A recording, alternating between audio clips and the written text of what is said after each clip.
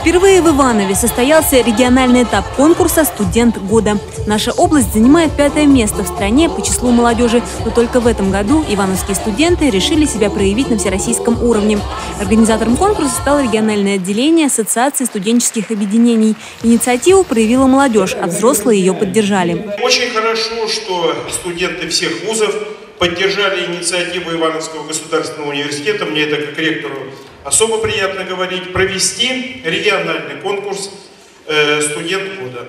Я просто хочу пожелать, чтобы он прошел интересно, потому что и полезно, и ну, разносторонне. Каждый претендент на почетное звание представил жюри двухминутный видеоролик на тему «Я студент года» и портфолио, отражающие личные достижения каждого конкурсанта. Жюри проводило экспертизу документов и определило победителей в семи категориях. Самой многочисленной оказалась номинация «Студент ученый года». Главного приза была удостоена студентка ИГУ Дарья Морозова. Все вы гордость своих вузов. И э, вы должны прекрасно сознавать, что сегодняшние ваши награды отмечают не столько ваши нынешние заслуги, сколько надежды на ваше прекрасное будущее. Его вам я и желаю.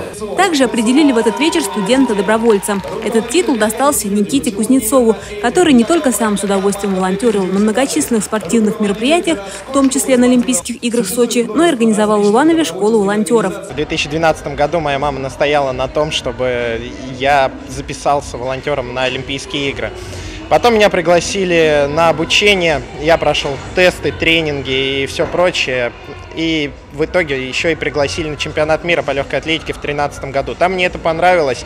И когда я окончательно уже вернулся из Сочи, я решил, что надо остальным подать пример я решил, что не мешало бы всем знать о том, что это здорово, что это интересно. Ивановские студенты доказали, они не только хорошо учатся, но и находят время для самореализации. Что такое талант? Э, ну, это, наверное, немного способностей и очень много, много, очень много труда. Поэтому я думаю, что эту номинацию можно назвать еще «Студент-трудяга». А кто же у нас стал этим студентом, не студент, студентка, Исаева Виктория Андреевна.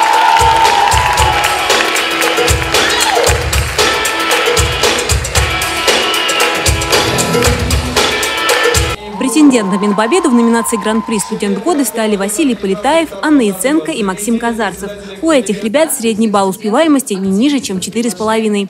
При этом они активно участвуют в общественной жизни не только вуза, но и всего города. На мой взгляд, залогом моей победы является наличие большого количества проектов, которые мной были уже реализованы. Начиная с моей деятельности в пиар-совете нашего университета, который э, я занимался этим со второго курса, вот, э, продолжая потом уже в студенческом самоуправлении направлении.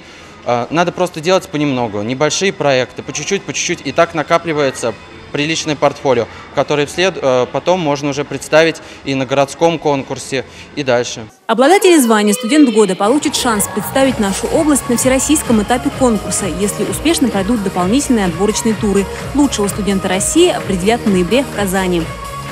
Любовь Почерникова, Денис Денисов, РТВ Иванова.